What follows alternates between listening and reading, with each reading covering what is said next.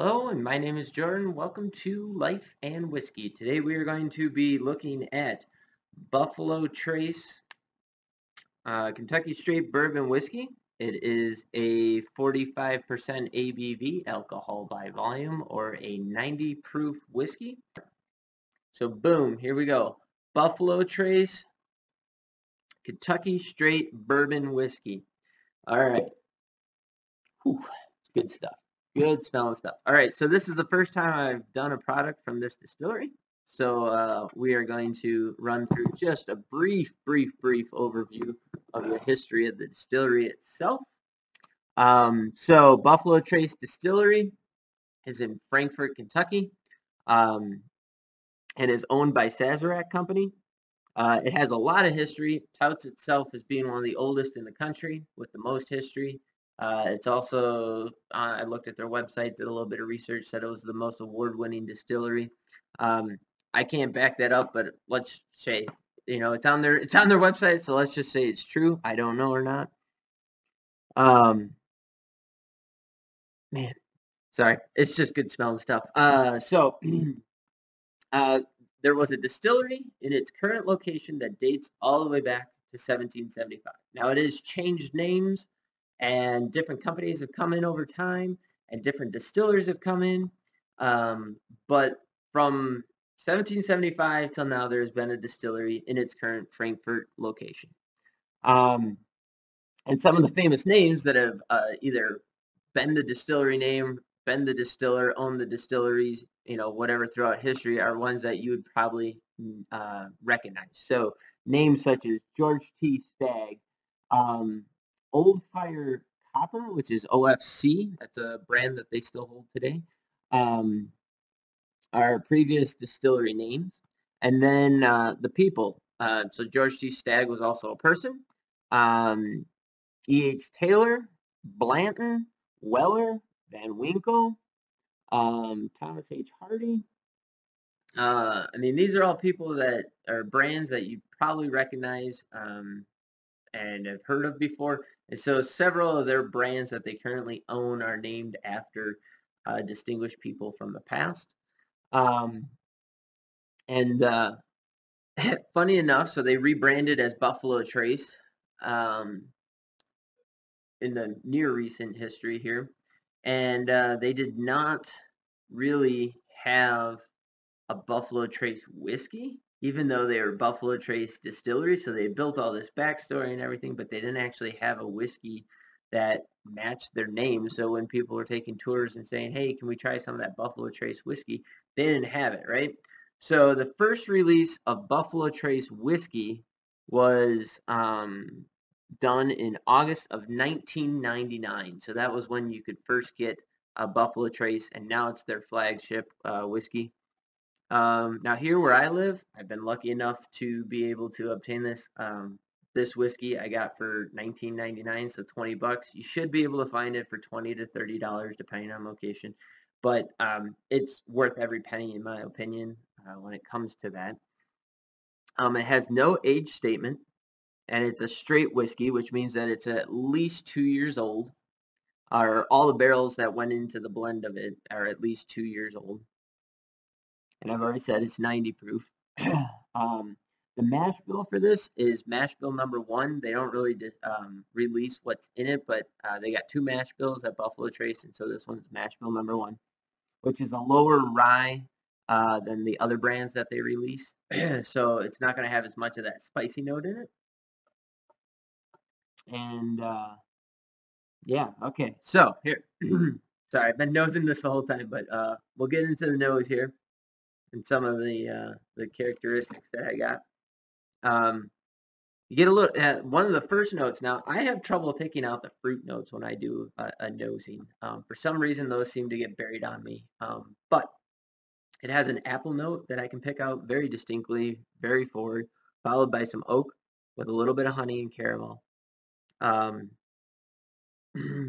Has a sweet spiciness to it that I, I, really enjoy that smell. And then it fit for me, it finishes with like a brown sugar note, like a very boom brown sugar. Um, so it's all those sweeter notes that you tend to pick up in bourbons. Um, but they're blended together really nicely. And like for me, each time I go back to it, I can pick out a different note very distinctly. Like so, every time I stick my nose in it, it's like boom, there's one one scent, and then like I go back again, expecting to find that same scent, and then boom, something completely different, which is very nice to me. I enjoy the variety um, that this brings. Um, all right.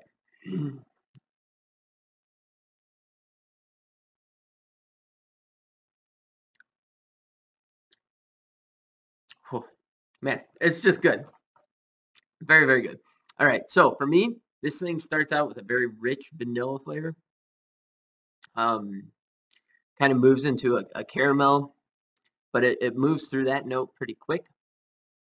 Um, and then a light fresh fruit. As I start moving into the um, the finish on it, it goes like if I were to describe the finish from like the middle flavor through, I hit like this light fruit, apples, pears. I don't know what exactly it is, uh, and then it goes into a barrel spice, and that note just sits and lingers like it's still on my tongue now. And the more it sits, the more apple it becomes.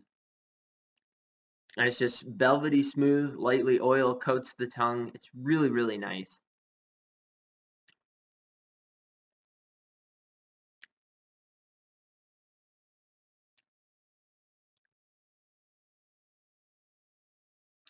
So what I'm going to say about the finish on that one then is, sorry, I'm just going through my head thinking of all the different flavors and kind of working my way through the profile. So for me, like I still taste this apple that's lingering for like maybe seven to 10 seconds after I swallow it. But like the rush of flavors that go into the finish just kind of go right through to me. so in that regards, it has a, a, a short finish, but that the last note just kind of sits and lingers for me. And it clears off. Like I said, it was oily, but it's like oily smooth on my tongue but it uh, it's not a lingering thing. So it doesn't sit on my tongue and just you know kind of coat it. It just kind of right off of it. But even now, I still get that apple flavor on there. So um, it's an excellent bourbon. Uh, I just opened this bottle couple days ago and tried it for the very first time. Uh, I'd never had it at that point, and I'm kind of ashamed that it took me this long to try it because it's an absolute excellent bourbon. Um, I would say this is an excellent intro into the bourbon category of whiskey. So if you're not a bourbon drinker or if you're not a whiskey drinker, this is something that is not very challenging. It's very light and sweet. Um, and it's a great one that you can sit and experiment with.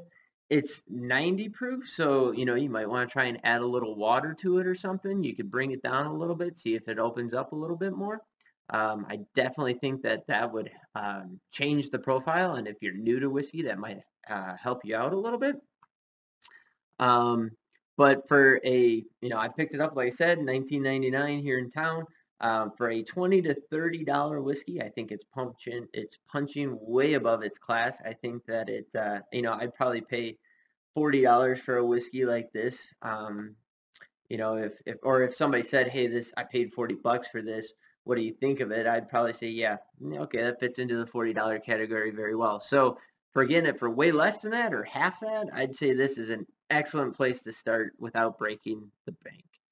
Um, and it's just a good general sipper. Like I could sit and sip on this all night, and um, you know, it would go with a, a, you know a nice after dinner drink sipper, good conversation kind of a thing. So um, yeah, I encourage you get out there, pick up a bottle if you haven't already. Give it a try, see what you think. Leave any comments you have. Um, below. Tell me what your experience has been with it um, or what you think about it or uh, or what you think about the prices of whiskey. Maybe let me know what some of the prices are. Um, how about for an apples to apples comparison? Why don't you tell me what Buffalo Trace is going for in your state or your region? Um, and then that way we have a little bank of information for people to kind of compare prices against so that way they know what they can maybe expect to be paying and whether or not they're paying too much for something. Um, anyways, I know this video was a little bit longer than the previous one, but hopefully you got some good information out of it. And um, thanks for watching, and I hope you stay tuned for the next video. And uh, please like, subscribe, and do all the, the YouTube stuff. I mean, I'm only going to keep begging a couple of times for that kind of stuff. Um, and uh, yeah, Hope you have yourself a great rest of the day, and we will catch you later. Thanks again.